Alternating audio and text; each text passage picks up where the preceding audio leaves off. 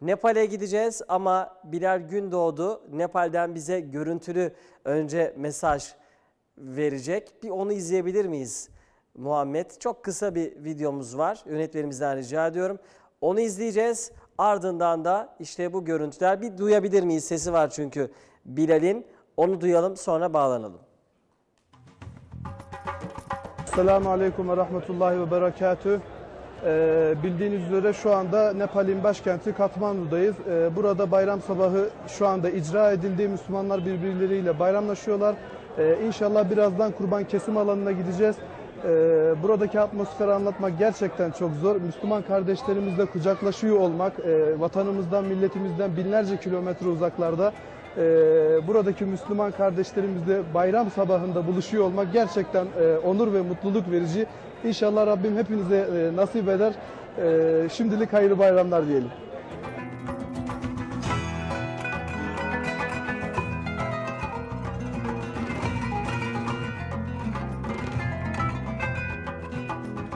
Nepal'in göbeğine, Katmandu'nun sokaklarına, Buda'nın tapınağına, Hinduların mabedine hak yol İslam yazacağız.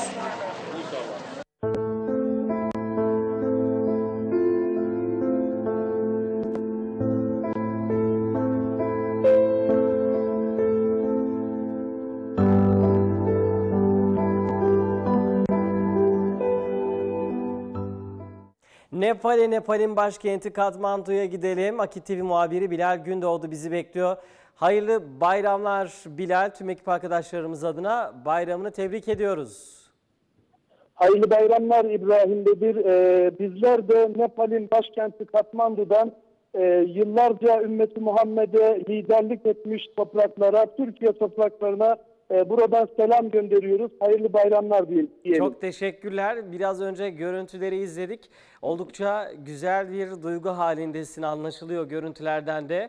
Nasıl bir bayram başladı senin için? Oraya gider gitmez Nepal'e adım atar atmaz ne hissettin? Yüreğinde nasıl bir duygu oluştu? Ve oranın insanların yüzlerinde nasıl bir sima hakim? Ee, senden dinlemek isteriz Nepal'in bayramını. Evet İbrahim Bedir. Ee, öncelikle şunu belirtmek istiyorum.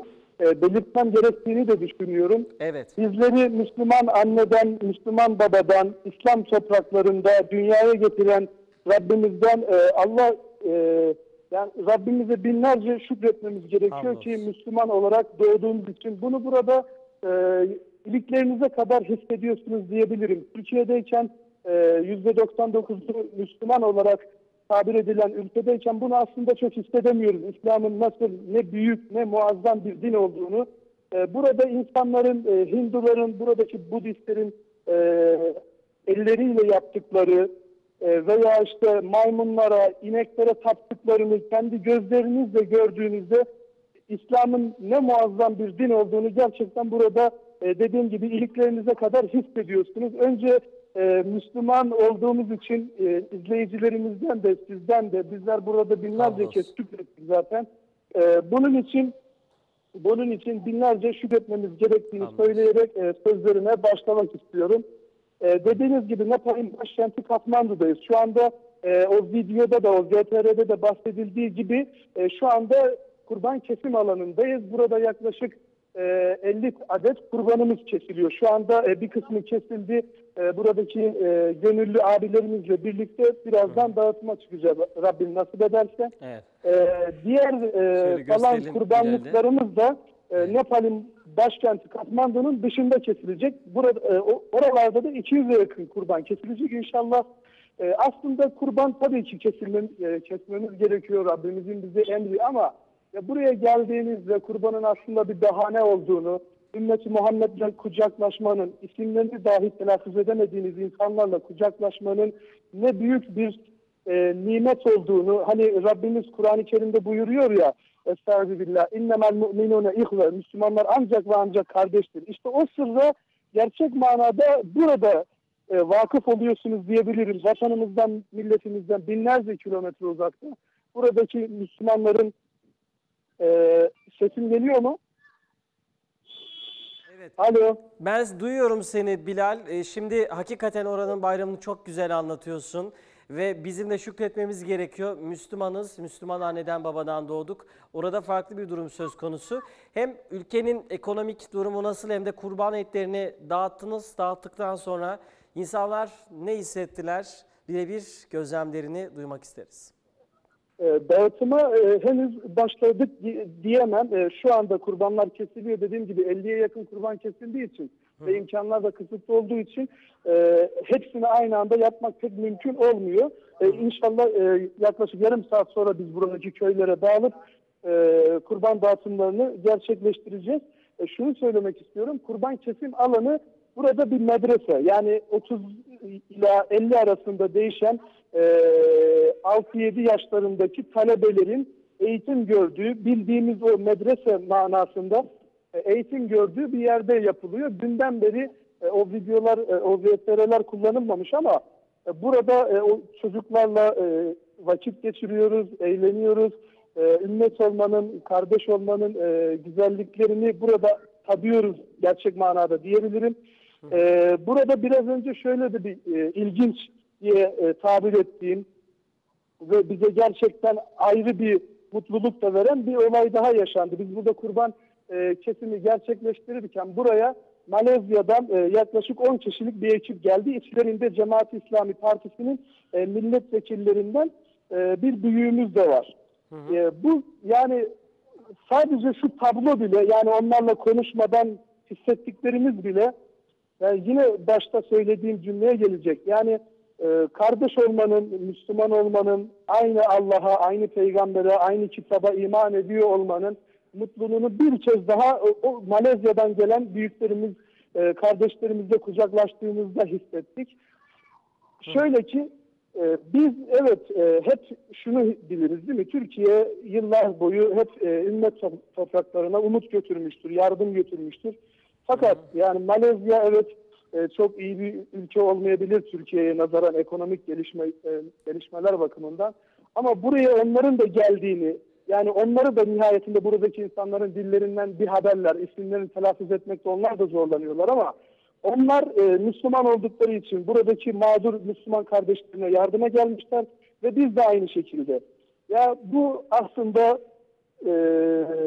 nasıl yani arş belki titremedi ama hani belki çok abartıyorum. Gerçekten dünyalar bizim oldu burada. Öyle ifade edelim. Senin için de çok farklı bir bayram yaşanıyor bu açıdan. Birlik manzaralarını görüyorsun. Bize de bunları anlatman hakikaten Tabii tabii. çok Ya değerli. hani çok teşekkür ederiz. ifade evet, samimiyetle ifade etmek gerekirse hani hepimiz nerede eski bayramlar diye e, hep özlem çekeriz ya. Büyüdükçe bu özlem daha da artar ya.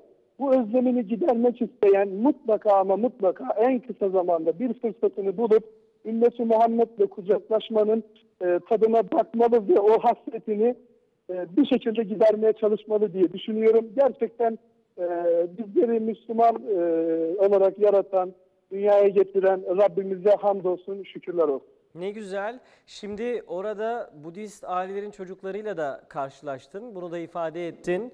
Peki onlar Türkiye'den geldiğinizi duyunca ne hissettiler? Size ne söylediler? Nasıl karşıladılar sizi ve Ee, ekibinizi? şöyle ki, şöyle ki burada bilindiği üzere, burada bilindiği üzere e, yanılmıyorsam 2-3 ay önce büyük bir deprem oldu. Bizim o Marmara depreminden belki daha şiddetli bir deprem Büyük oldu. bir ve yıkım vardı. Ertesi gününde, evet ertesi gününde e, İHH İnsani Yardım Vakfı gibi vakıflar başta olmak üzere hemen buraya geldiler ve Budist, Hinduist, Müslüman ayırt etmek sizin buradaki insanlara yardım ettiler.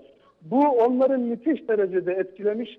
E, çünkü Müslümanlara e, tüm dünyada öyle bir algı vardır ya, özü gözüyle bakılıyor. İşte burada kurban kesmeleri falan hani kesmek tırnak içinde caniliktir ya, o gözle bakıyorlar.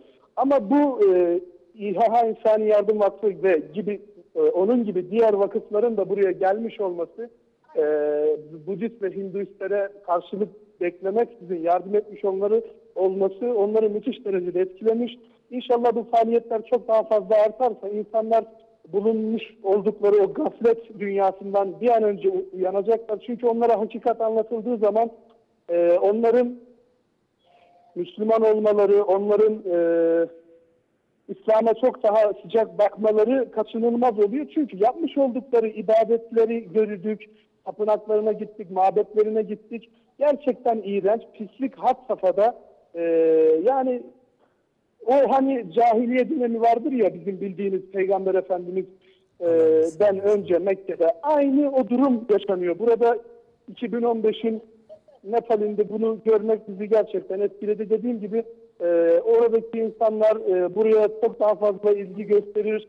E, karşılık beklemek için yardımlarına devam ederse inşallah e, buradaki hakikati bulan insanların sayısı artacaktır diye düşünüyorum. Güzel bir dua. Biz de duana amin diyoruz. Peki daha fazla yormayalım. Kurban Bayramı'nda dağıtım, et dağıtım çalışmalarına başlayacaksınız biraz sonra.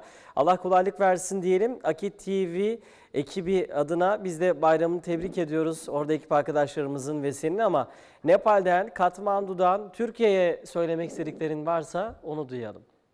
E, son olarak e, şunu söyleyebilirim. Evet. Yani dua etsinler, çalışsınlar kendilerini hepimiz için geçerli tabii ki. Bu ümmeti Muhammed için e, ümmeti Muhammed'e çok daha faydalı bir e, birey olabilmek için hepimiz kendimizi geliştirmek zorundayız. E, bunu hepimiz aslında e, Müslümanlık görevimiz zaten bunu bize söylüyor. Biz de tekrardan hatırlatmış olalım. Buradaki kardeşlerini, burada da Nepal'de de aynı Allah'a, aynı kitaba, aynı peygambere iman eden kardeşlerini inşallah Türkiye'deki e, vatandaşlarımız, Türkiye'deki büyüklerimiz inşallah unutmazlarsa İnşallah. e, inşallah her şey çok daha güzel olacak. Çok teşekkürler. Nepal'e selamlar. Hayırlı bayramlar bir kez daha. Bilal Hayırlı Gündüz. bayramlar tekrardan. Görüşmek üzere inşallah. Çok teşekkürler. Ekip arkadaşlarımıza da selamlar. Aki TV muhabiri Bilal Gündoğdu, Nepal'in başkenti Katmandu'dan bize bayram sevincini hissettirdi.